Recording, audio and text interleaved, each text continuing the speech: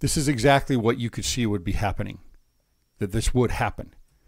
There's no way around it. It's not just going to happen at BYU.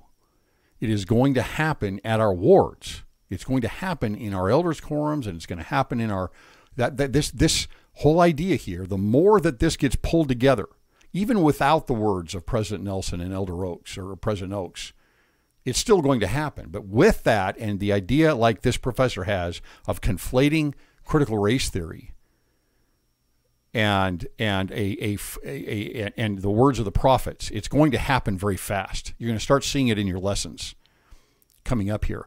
You need to fight against it. You need you need to fight against it. You need to be able to parse out the idea of what the prophets are saying and what these critical race theorists say.